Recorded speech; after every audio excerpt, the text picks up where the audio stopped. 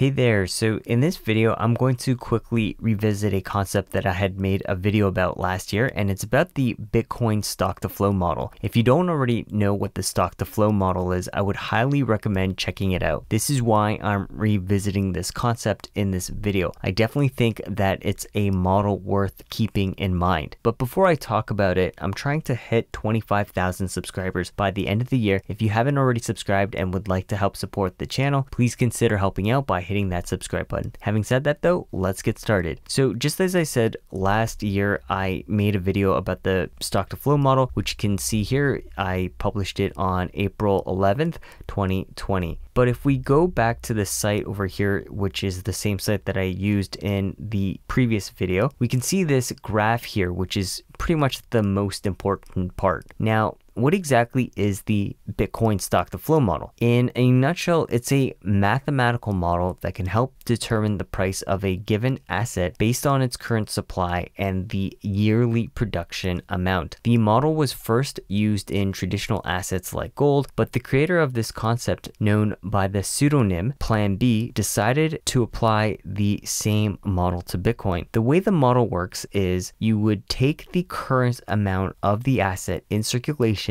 and divide it by the asset's yearly production. When deriving this number and plugging it into another formula, you can get the projected price. As I want to be respectful of your time, I'm not going to go over it as a lot of the technical stuff is addressed over here in this site, which you can check out for yourself. So if I just kind of scroll down over here, you can kind of get an idea of what it's all about. So if I scroll down some more, you can see their formulas and the model and so on and so forth. So that's kind of how this all works. Again, the most important part that I want to go over in this video is just this graph over here. Essentially, it's an interactive graph that can help give an idea of where the price of Bitcoin is heading. The x-axis is time and the y-axis is price. This line in teal over here is the predicted price and the rainbow color line, which you can kind of see here, is the end of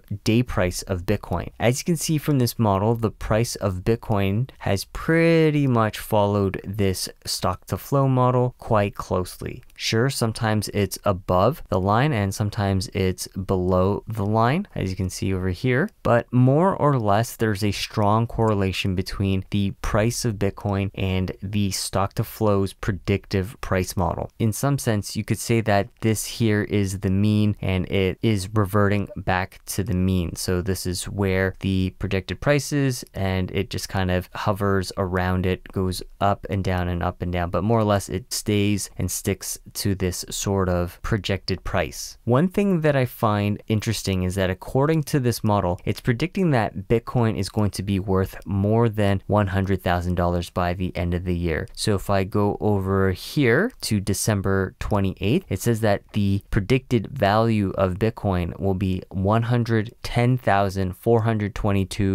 $110,422.71 and that's in USD. Now, whether this actually happens or not, it'll be interesting to see what happens to the price of Bitcoin over the next couple of months before the new year. Anyways, I hope you enjoyed this video or found it educational. And if you did, please give it a thumbs up. If you think that there's someone who'll get some value out of this video, please share it with them. If you have any questions or comments, please leave them down below as I do check and respond. Other than that, thanks for watching and I'll see you in the next video. Bye for now.